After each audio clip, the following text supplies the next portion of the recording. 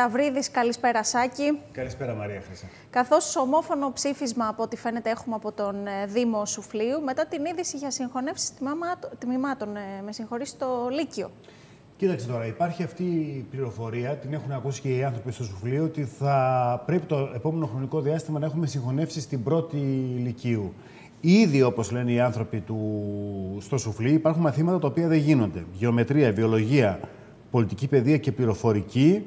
Ε, υπάρχουν θέματα. Από 8 εντεκάτου δεν διδάσκεται νεοελληνική γλώσσα και λογοτεχνία και τμήματα της Β' Λυκείου δεν διδάσκονται ιστορία και φιλοσοφία.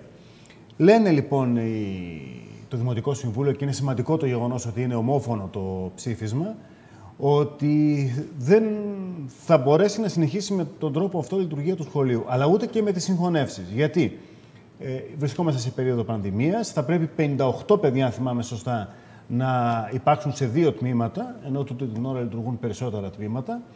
Και φυσικά αυτό και συγχρονισμό φέρνει ε, και δημιουργεί και την αίσθηση, το λένε και οι άνθρωποι στο ψήφισμα, ότι ενώ βρισκόμαστε απέναντι από τα σύνορα, δεν υπάρχει η προσοχή που θα έπρεπε να υπάρχει στην, ε, στην περιοχή. Ε, ζητούν λοιπόν ε, οι άνθρωποι από το Δήμο Σουφλίου, το Δημοτικό Συμβούλιο, άμεσα να γίνουν κάποιες κινήσεις, ώστε και καθηγητές να βρεθούν και τα τμήματα να λειτουργήσουν κανονικά και οι μαθητές να αισθάνονται ε, ότι δεν τους παραμελεί το ίδιο το κράτος. Ναι, βρισκόμαστε σε μια περίοδο που πόσο μάλλον τώρα πρέπει να δοθεί ιδιαίτερη έμφαση στο κομμάτι της παιδείας. Είναι πολλές οι φορές που έχουμε ακούσει τους ε, εκπαιδευτικούς από τη δική τους πλευρά να διατρανώνουν τα αιτήματά τους σε αυτό το κομμάτι. Ιδιαίτερα στο κομμάτι των συγχωνεύσεων, κάτι το οποίο ναι. Ε, αυτή τη στιγμή είναι το τελευταίο που θα έπρεπε ίσως να συμβεί. Κοίταξε, κανείς δεν καταλαβαίνει τι γίνεται. Δηλαδή, από τη μία ακούμε το Υπουργείο να λέει ότι έχουμε προσλήψεις εκπαιδευτικών, ότι καλύπτονται τα κενά. Ε, από την άλλη, αν το δει και κάποιος έτσι ψύχρεμα, θα δει ότι πάρα πολλοί εκπαιδευτικοί είναι άνεργοι στην περιοχή. Δημοσιονομικά, η κυβέρνηση δεν έχει δείξει ότι δεν μπορεί να καλύψει κάποιες θέσεις στα σχολεία. Ότι υπάρχει δηλαδή περιθώριο.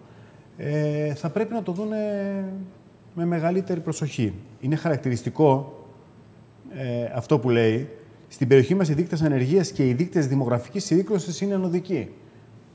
Συζητάμε και στην εκπομπή, θα έχουμε λίγο αργότερα, πάρα πολλές φορές για τα θέματα τα, του δημογραφικού αν δεν στηρίξεις τις περιοχές. Δηλαδή, αν ο γονιός δεν αισθανθεί ότι το παιδί του έχει ίσες ευκαιρίες, δεν θα παραμείνει στην περιοχή. Γερνάει ο Εύρο και γερνάει επικίνδυνα. Πρέπει λοιπόν άμεσα να βρεθούν λύσεις και σε τέτοια προβλήματα και σε άλλα ε, που υπάρχουν για να συγκρατηθεί ο πληθυσμός. Εγώ θα το ρωτήσω στη συνέχεια. Θα έχουμε τον ε, βουλευτή τον Σταύρο τον Κελέτη στην εκπομπή στο πρώτο μέρος. Οπότε θα τον ρωτήσω για τις σκέψεις τι δικές του αλλά και της κυβέρνησης και για τα θέματα του δημογραφικού. Και Αυτή είναι η απτή απόδειξη του πώς το ένα θέμα ποτέ δεν είναι ασύνδετο με το άλλο. Πόσο μάλλον όταν μιλάμε για περιοχές σαν την δική μας. Οπότε σε πολύ λίγο από τώρα, σε, όταν τελειώσει το ναι. δελτίο ναι. ειδήσεων, στις εξελίξεις, ο Σταύρος Κελέτσης και ε, ο Σταύρος Κελέτσης θα είναι καλεσμένος στις εκπομπής και τι άλλο καλεσμένος. Πρόσεξε, ζήτησα, κάναμε ένα, ένα σχεδιασμό εδώ με το, στο, με το κανάλι, σε κάποιες εκπομπές να είμαστε face to face με κάποιους πολιτικούς. Και αυτό για να κάνουμε μια πρώτη καταγραφή των σκέψεων και το τι θα θέλουν και οι ίδιοι για την περιοχή. Και στη συνέχεια θα μπαίνουμε ε, και στους διαξυφισμούς, ε, τους συνηθισμένους για τις ναι. πολιτικές εκπομπές. Και ε, τώρα με την ευκαιρία να πω ότι και στη συνέχεια, λίγο πριν από το κλείσιμο, θα έχουμε τον Γιώργο Τονούς στο Γλου, καθώς το Σάββατο έρχεται ο Γιώργος Παπανδρέου στην περιοχή Υπάρχει μια, έχει φτιαχτεί μια ομάδα υποστηρικτών του Γιώργου Παπανδρέου, φίλοι του Γιώργου Παπανδρέου όπως ονομάζουν, και θα αναλύσουμε λίγο και αυτά τα πολιτικά, να δούμε και από την πλευρά του Πασόκ του, του κοινάλ τι γίνεται. Οπότε έχουμε δύο πολύ μεγάλα κεφάλαια και απόψε για να παρακολουθήσουμε. Να σε ευχαριστήσω θερμά.